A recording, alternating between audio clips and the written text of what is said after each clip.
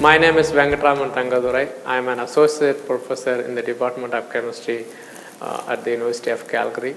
My group research is working towards the development of new solid electrolytes and electrode materials for application in advanced solid state energy conversion and storage technologies uh, that include solid oxide fuel cells, lithium ion batteries, as well as electrochemical gas sensors. The central element of my group research is a focus on a deeper understanding of a chemical composition, crystal structure, functional properties relationship to further advancement of the solid state ionic devices. Okay, there is an increased interest in discovering new uh, energy conversion and storage devices that are able to meet our society's rapidly increasing energy demand. Renewable energy sources such as solar and wind energies are a great way to shift our dependence for, for the use of hydrocarbon fuels. However, these renewable sources are available often intermittently and unpredictability. Therefore, the electrochemical devices such as batteries can be used to, together with the renewable energy sources to meet our society's sustainable future. Uh, today, different types of uh, battery technologies are available uh, that include lead acid, nickel cadmium, nickel metal hydride, and lithium ion.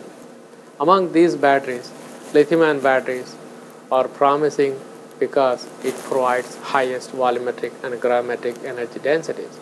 However, the, the current uh, lithium ion batteries utilize organic based electrolyte that associate with a lot of uh, issues that includes readily flammable and also shows poor energy density.